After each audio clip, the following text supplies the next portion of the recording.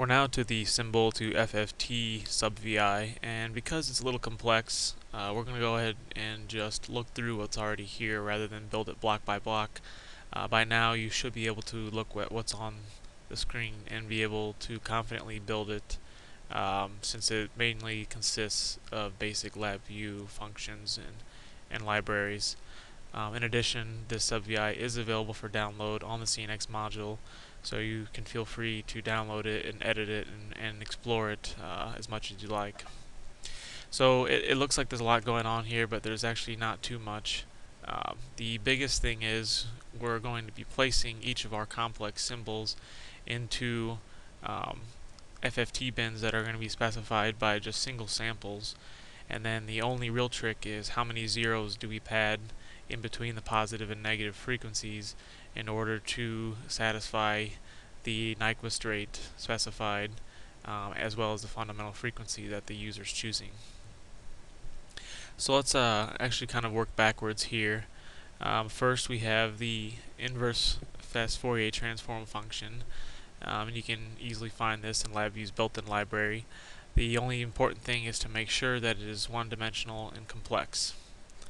Um, and this is because we're in general assuming no kind of Hermitian symmetry and we're going to be doing quadrature multiplexing to the intermediate frequency and so it's okay if we have positive and negative frequencies that aren't exactly correlated. Uh, so in other words, the fundamental frequency and the negative fundamental frequency are two individual subcarriers independent of one another. Um, when we come to this block here, we're essentially taking in the positive frequencies, padding with a number of zeros, and then the negative frequencies. And this is because we've chosen false for our FFT shift. And so the spectrum starts out with the very first sample being DC, and then the positive frequencies for the first half, and the negative frequencies for the second half. Uh, the only sticking point here is we're going to keep our DC offset that we specify separate, and this will become apparent when we get to some of the later sub-VIs as to why we want to do this. Um, so for now, what we do is we, we put a, a zero instead. The logic over here is simply to determine if we have an uh, even or odd number of subcarriers. If we have an even number of subcarriers, then we'll go ahead and inject whatever carrier symbol that the user um, would like to inject and we do that simply by routing that to the DC offset and uh, all of the first half of the parallel symbol in will go to the positive frequencies.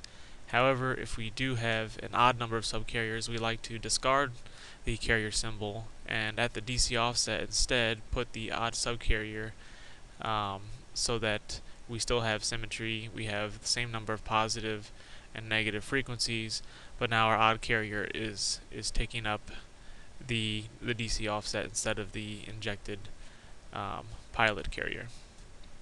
So to do this, we simply break split the array here, and then the um, first part becomes the DC offset. So the very first element will become the the odd subcarrier, and then the remaining will go to the first uh, the positive frequency bands. And when we split here initially, um, note that after we divided by 2 we rounded um, towards infinity. And this way we're guaranteed if it is odd to have the very the, the odd subcarrier in the first group. And that's why we were performing the operation up here. And the second group is guaranteed to have only the um, the normal subcarriers not the odd man.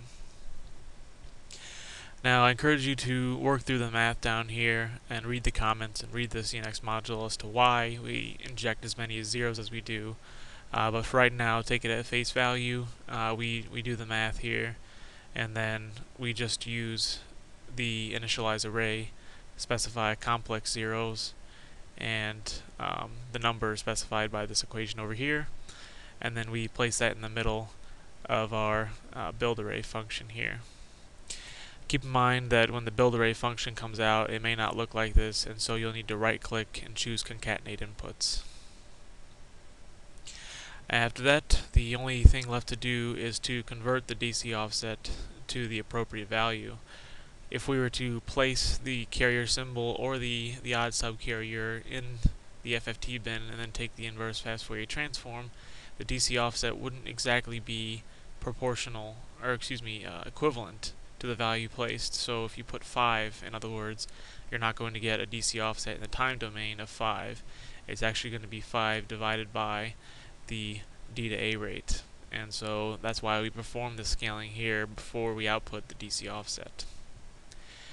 And that's all there is to it. I know there's a lot going on here, so I encourage you to download the module, play around with it, write out some of the math equations, uh, read the comments um, in the in the VI itself, and uh, go through the CNX module in detail, and also check out the example we're going to do next.